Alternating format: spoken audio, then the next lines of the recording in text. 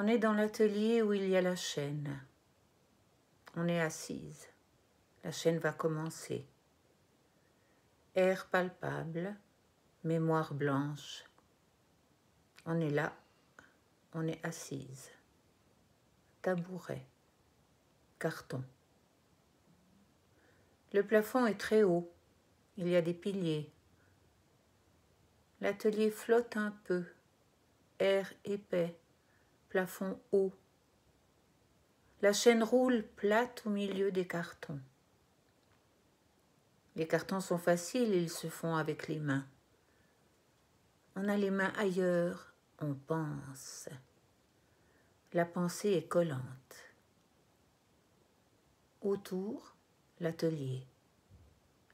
Dans l'air épais, sous le plafond haut, on fait des cartons on pense.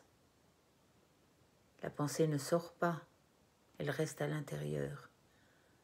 Rien ne se défait, on pense.